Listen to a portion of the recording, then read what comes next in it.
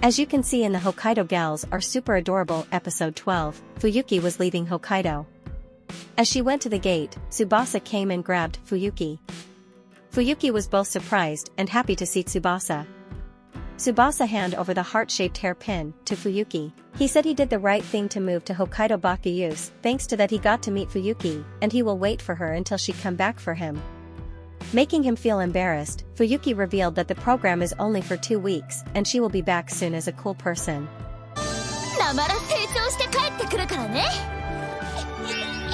If you haven't already, please consider subscribing now to show the support to our channel.